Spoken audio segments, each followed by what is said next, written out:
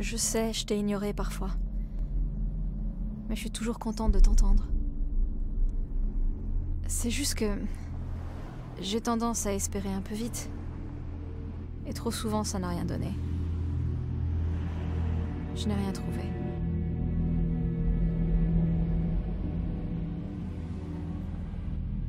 C'est comme si tu vivais dans une chambre avec un poster sur le mur.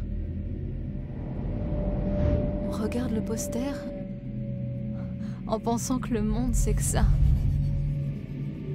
La chambre et le poster. Le poster est plutôt sympa. Un paysage ou quelqu'un de connu. Comme dans ce film. euh, avec la prison, c'est quoi le titre? Bref, la chambre est une cellule. Et l'image, elle est différente pour chacun de nous. Elle peut être magnifique, ou laide, dégoûtante ou triste, mais elle nous obsède.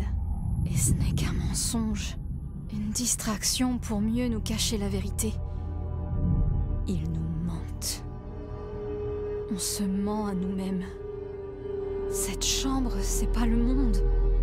Le monde, il est bien plus grand bien plus étrange. Il y a un trou caché derrière le poster. Ça mène au véritable monde. On se sent en sécurité dans la chambre. Mais parfois... Parfois il arrive qu'une chose surgisse de derrière le poster.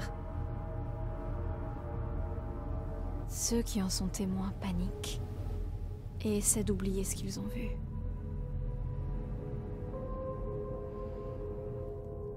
Suis ici. Explique-moi pourquoi.